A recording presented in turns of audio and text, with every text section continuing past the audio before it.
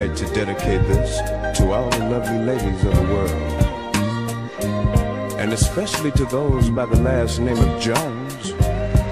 You see, if your last name happens to be Jones, then we send this out to you especially.